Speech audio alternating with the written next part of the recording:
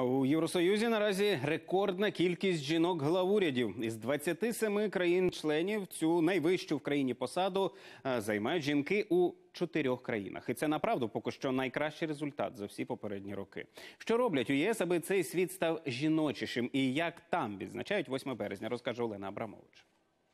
В Брюсселі 8 березня жінок з квітами в руках не побачиш. Тут звичайний робочий понеділок, проте не без сюрпризів. Так станцію метро Шуман перейменували в Клара Шуман, в честь німецької композиторки та піаністки.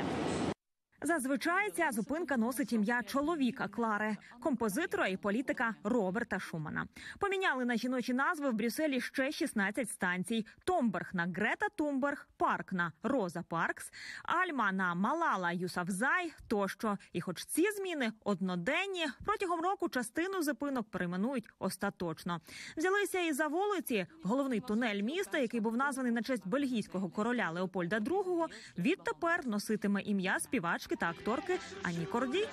Назва на в'їзді поки що стара тунель Леопольда II. Її замінять щойно закінчать ремонт. Це один із кроків у рамках фемінізації вулиць та громадських площ Брюсселя. Саме жителі міста вибирають і голосують за нові назви.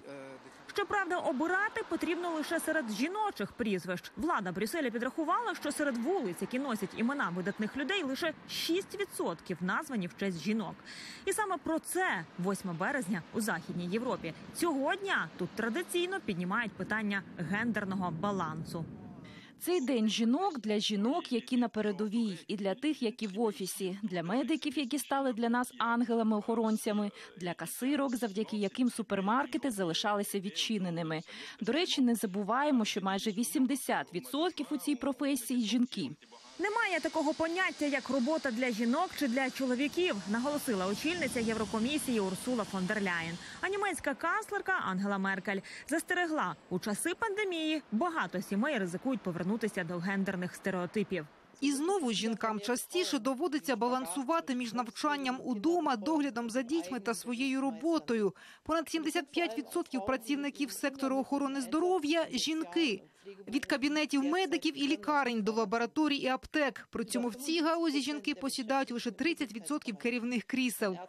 Усього третину налічують жінки в урядах та парламентах країн ЄС. Що далі на захід, то збалансованіші пропорції. Лідери Фінляндія, Швеція, Франція та Бельгія. Там жінок при владі навіть більше ніж чоловіків. Проте найвищі посади та ключові позиції досі за чоловіками.